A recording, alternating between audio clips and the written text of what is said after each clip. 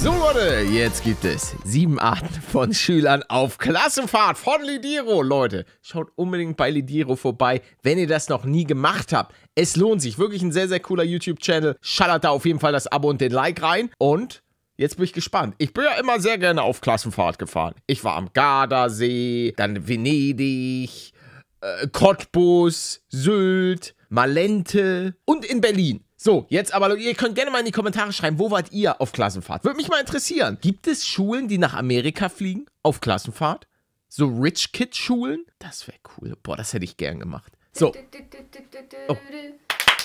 Hey, Leute, mein Name ist Lina und willkommen Hallo. zu einem neuen Video. Sieben Arten von Schülern auf Ja. Klassenfahrt. Ach, wie sehr ich Klassenfahrten geliebt habe. Mir kommen sehr viele schöne, aber zum Teil auch verrückte Erinnerungen Oh ja. Und ich komme ehrlich gesagt nicht drauf klar, wie Lehrer sich dazu entscheiden, eine ganze Woche mit 20 wahnsinnigen Teenagern unter einem Dach zu verbringen. Ich meine, erinnert euch selbst daran, was für dummes Zeug man auf Klassenfahrten anstellt. Der Krieg beginnt Auf jeden Fall. Jemand wollte aus unserer Klasse mit Alkohol in den Bundestag. Weil wir hatten halt so eine Führung gebucht und am Anfang wird man, also die Taschen werden halt durchsucht und so weiter, bevor du da reingehst. Und dann hatte, stimmt, das ist einfach das zweite Mal, dass ich heute Michi, in dem anderen Video hatte ich heute auch schon über Michi geredet, aber ähm, auf jeden Fall hatte der so eine Mische in seinem Rucksack. Boah, unser Lehrer, Grüße gehen raus an Herr Möller, war so beschämt. Der hat sich so geschämt, dass jemand von seinen Schülern da versucht hat, mit einer Mische. Ah, das war, er hat, ah, das war. Ja schon vor der Klassenfahrt mit langen Diskussionen, wer mit wem in welchem Zimmer schlafen Oh wird. ja. Und zudem hat Oh noch ja. jeder Schüler seine eigenen Macken. Und darum wird es auch in diesem Video gehen. Oh also ja. lasst jetzt schon mal einen Daumen nach oben und ein Abo da. Und ich würde sagen, ich fange an. Let's go zum ersten Typen. Erstens, der Lasst uns lange wach bleiben Typ. Oh Ey Leute, nein. lasst uns heute die ganze Nacht wach bleiben, Energy Drinks trinken und reden. Wir werden wie wahre Gangster gegen die Regeln verstoßen. Ist das nicht mega cool? Hm? Derselbe Typ um 19.20 Uhr. Ja, du bist wirklich ein wahrer Gangster. Vor allen Dingen, man musste auch auf Klassenfahrt immer möglichst früh einschlafen, weil es gab immer ein, zwei Leute, die geschnarcht haben. Junge, das war so ätzend. Wir haben es aber wirklich einmal durchgezogen und am nächsten Tag hatten wir einen Wandertag. Äh, Oh wir Gott. waren gar nicht müde. Zweitens, der Unerwünschte. ja, das ist wahrscheinlich ein Klassiker, auch wenn es eigentlich Ja, es ist einfach so. Ja, ihr, ihr geht jetzt mit Tobias in ein Zimmer. Oh nee, Herr Möller, nicht mit Tobias. Der, sch der scheißt immer ins Bett. ziemlich traurig ist. Denn kennt ihr das, wenn ihr ein Zimmer nur mit euren besten Freunden bekommt und euch so richtig drauf freut? Jo Leute, wir werden eine Party schmeißen und dann die ganze Nacht über die Mädchen aus dem Nebenzimmer lästern. und am Ende, nachdem sich alle Schüler in perfekte Gruppen aufgeteilt haben, bleibt irgendein Dude übrig. Und wer bist du? Ich bin der Timmy. Bist du etwa neu hier? Nee, ich bin schon seit der ersten Klasse dabei. Ach echt? Okay, und du hast noch kein Zimmer, oder? Nein.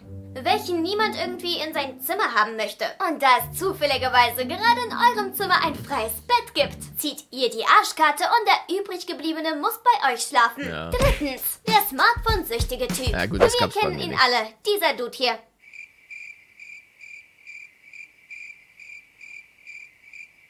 Viertens, der Hamster. Und damit meine ich diesen einen Typen, der auf Klassenfahrt einen riesigen Koffer mit Snacks mitnimmt und die ganze Zeit nur am Knabbern ist. Ernsthaft? Gibt es solche Leute, die so mega viele Snacks dabei haben? Wir hatten bei uns in der Schule immer einen, der hatte generell in, den, in der ganz normalen Schultagssituation, hatte der immer äh, mega viel Essen dabei und jeder hat bei ihm geschnort. Grüße gehen raus an Sascha. Aber nee. Was? Es gab Leute, die hatten mehr Kohle mit als andere. Teilweise hatten Mitschüler mega viel Geld mit auf Klassenfahrt, obwohl wir nur äh, Betrag XY mitnehmen durften. Also, mal, wie schaffst du es nur, so viel Zeug in dich zu stopfen? boah, ich weiß auch noch, einmal, da hatten wir in Berlin Klassenfahrt und da hat ein Kollege, also mit dem bin ich immer noch befreundet, der hatte am Vorabend ein bisschen zu viel, äh, bisschen ins Glas geschaut. Das Ding war, wir wollten alle zum Frühstück und wir hatten aber nur einen Schlüssel. Also hat Hendrik einfach ihn eingeschlossen. Weil er wollte den Schlüssel, er, muss, er war Schlüsselträger. Er musste abschließen und dann haben sie halt Olli eingeschlossen und der ist danach richtig ausgerastet. Der meinte, wie könnt ihr mich hier ein, einschließen und so weiter. Und hat dann, der war immer ganz gut durchtrainiert, hat dann mit seiner Faust in so einen Eisenschrank gehauen und hat halt diese Tür komplett zerfetzt. Das war geil, also das war, ja. Na sowas, das ist natürlich ein Argument. Aber danach hat er sich beruhigt und hat dann noch probiert, diese komplett eingeschlagene Tür wieder so ein bisschen zu richten. Daran habe ich noch nie gedacht. Also kurze Erklärung, das war jetzt keine irgendwie Zentimeter dicke Eisentür, sondern das war halt so ein relativ dünn. Aber er hatte trotzdem Power. Was für weise Worte. Wenn ihr auch so ein Typ seid, der ständig nur am Knabbern ist, dann lasst diesen Hamster-Emoji in den Kommentaren da. Ich Ist bin gern, aber. Fünftens, der Smartphone-süchtige Hamster. Oh, was ist das? Oh, ist es so ein, ist es so ein Milchbrötchen? Boah, Leute, Milchbrötchen. Kennt ihr Milchbrötchen? Junge, die sind so lecker. Ich glaube, das ist Die so ein Überschrift Milchbrötchen. dafür könnte auch heißen, ein kleiner Ausschnitt aus Selinas Leben am Abend. Sechstens, die Petze. Oh, Äh, ja. Eine Petze in seinem Zimmer zu haben, ist wahrscheinlich das Schlimmste, Super was auf. Klassenfahrt passieren Ja, ja. kann. Ich habe gesehen, dass ihr Energy Drinks gekauft habt, obwohl es uns verboten wurde. Und ich werde das alles Sind Energy Drinks verboten? Ich muss zugeben, ich halte jetzt, da hat sich meine Meinung auch so ein bisschen geändert. Nicht so viel von Energy Drinks, aber dass die verboten sind? Ab wie vielen Jahren darf man einen Energy Drink kaufen? 16, 18, 14? Frau Müller erzählen. Hm. Okay, das Zweitschlimmste, nach dem Bettdecken beziehen. Ich habe ehrlich gesagt Oh, nie verstanden, was ja. daran so toll ist, jemand anderes zu verpetzen. Okay, ich verstehe, wenn ihr zu eurem Lehrer hinrennt, weil einer eurer Mitschüler jemand anderes angezündet hat und diese Person gerade brennt. Oder ich weiß nicht, wenn jemand den dritten Weltkrieg starten möchte. Oder wenn jemand gerade die Organe eines Mitschülers im Darknet versteigert. Okay. Also ich glaube, ihr habt mich verstanden. Wenn wirklich etwas sehr Schlimmes passiert, dann verstehe ich das. Und siebtens, Ja, ich check's auch nicht. Warum snitchen manche Leute so übertriebenst krass? Also da hatten wir auch so ein, zwei Spezialisten in unserer Klasse, die halt, oder nee, in unserer Klassenstufe, also von den drei Klassen, die auch gerne mal gesnitcht haben, wenn man irgendwie im Klassenraum ein bisschen Fußball gespielt hat oder so, oder auf dem Flur. Junge, wo ist das scheiß Problem? Der etwas komische. In der Klasse gibt es meistens einen etwas speziellen Schüler, der immer auf irgendwelche komischen Ideen kommt. Damit meine ich diesen einen Schüler, der seine Geschäfte ins Waschbecken erledigt, weil die Toilette zu weit weg war.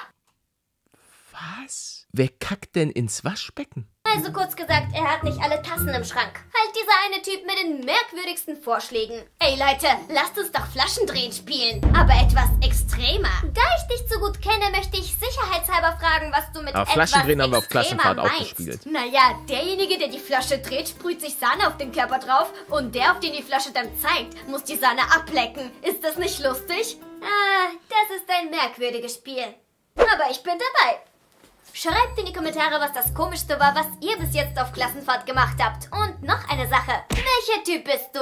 Ach, übrigens, es gibt eine neue Serie, die heißt Echt. Echt? Halt Echt? echt. Sie heißt Echt Echt. Dort geht es um Schüler der sechsten Klasse, die ratet mal wohin fahren. Ins Weltall. Klassenfahrt. Ja, Mann, genau. Ins Weltall und bekämpfen dort Aliens. Niemand auf Klassenfahrt. Wir wissen ja jetzt alle, was auf Klassenfahrten so alles passiert. Intrigen, Streit, Freundschaft und Tränen. Auf jeden Fall handelt diese Serie von einer Freundschaft zwischen zwei Mädchen, Mia und Serda. Die beiden sind schon seit dem Kindergarten beste Freunde. Doch ein weiteres Mädchen kommt dazwischen. Oh, oh nein. Lila, sie ist sozusagen die Trendsetterin der Klasse und will eine Freundschaft so mit Serda cool. starten. Mia fühlt sich dann aber in dieser Freundschaft fehl am Platz. Und vor allem, als sie ein Und dann zündet sie den kompletten Bus an. so mega Plot-Twist. Mir rastet einfach aus. Sie hat eine, hat eine Kalaschnikow gefunden und. Okay, ich höre. Streich gespielt wird, der Sonst kommt gleich der komische. Ja, ja, aber so ein komischer Typ wie Palumi. viel zu weit geht, sieht es für die Freundschaft zwischen ihr und Serda ziemlich schlecht aus. Und weiter will ich nicht spoilern, Und plötzlich holt er die AK. Sorry, Leute. Ich bin gerade aufgestanden. Ich bin noch ein bisschen müde. Mein Gehirn ist noch ein bisschen im Standby-Modus. Aber es hat irgendwie Bock auf eine Kalaschnikow. wenn ihr das Ganze spannend findet, könnt ihr euch die Serie jeden Ja. Freitag im Kika anschauen. Oder auch unter zdftv.de. Oder auch auf der ZDF-TV-App. Da kommen die Folgen Ja. jeden Donnerstag online. So viel dazu. Hoffen, ey. Echt? Hoffentlich Echt? mit Hier an der Seite AK. findet ihr noch zwei weitere Desert Videos. Das letzte Video von mir und ein mega cooles Video von dem Kanal so. Der Biograf. Ja, finde find ich super. Abonnieren und liken nicht vergessen.